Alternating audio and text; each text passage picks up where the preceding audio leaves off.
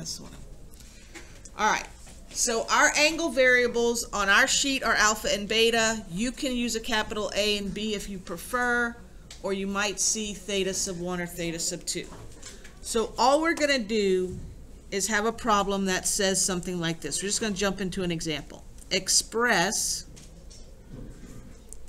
sine 4x minus sine 2x as a product.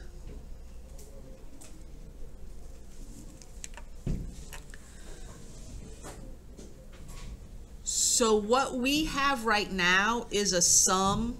I mean, when I look at it, I say, well, that's a difference because it has subtraction, but adding and subtracting or relating, a sum is just a negative addition problem. I mean, a, a difference is just a negative addition problem.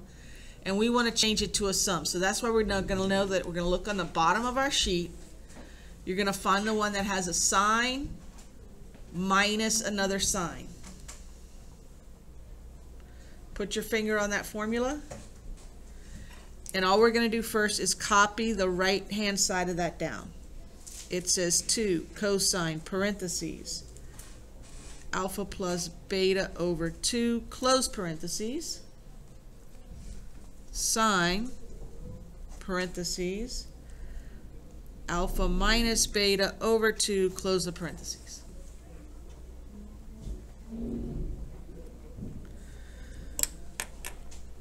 So do you see that this 4x is our alpha and this 2x is our beta?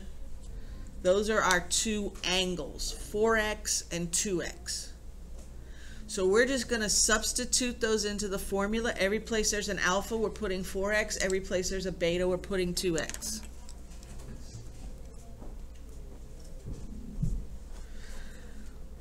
So alpha gets a 4x and beta gets a 2x.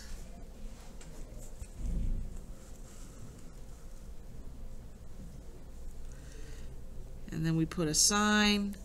Alpha gets a 4x minus beta gets a 2x over 2.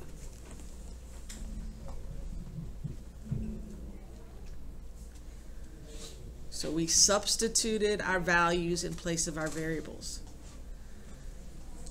So I'm going to work out every step. We're going to have 2 cosine. I'm going to work inside my parentheses. 4x plus 2x is 6x over 2.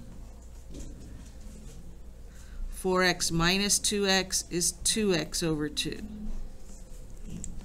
All I did was add my numerators.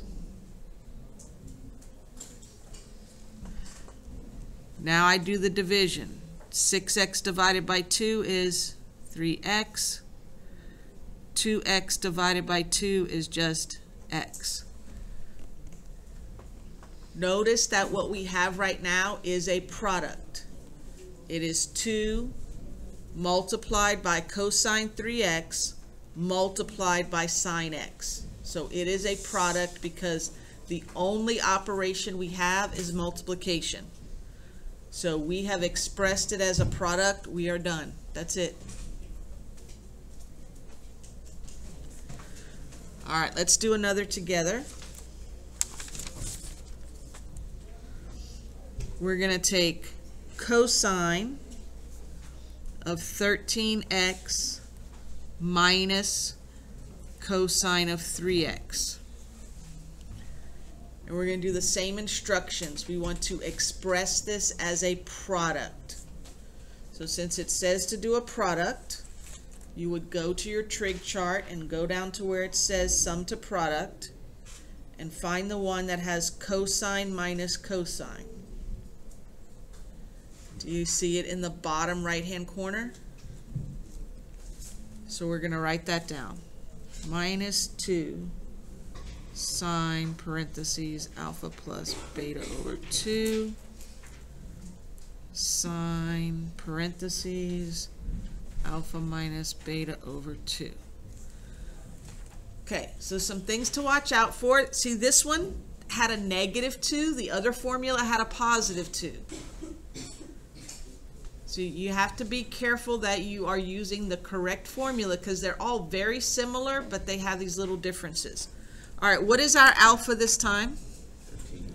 13x is what is alpha.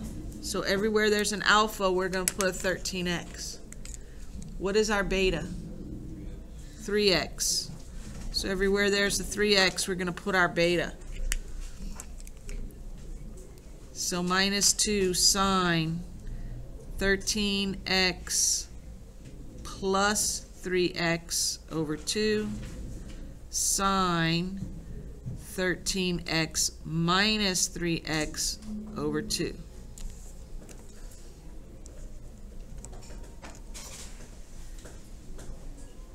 And now I'm going to do the adding and the dividing all at once. So I'm going to have minus 2 sine 13x plus 3x makes 16x. 16x divided by 2 is 8x. 13x minus 3x is 10x. 10x divided by 2 is 5x.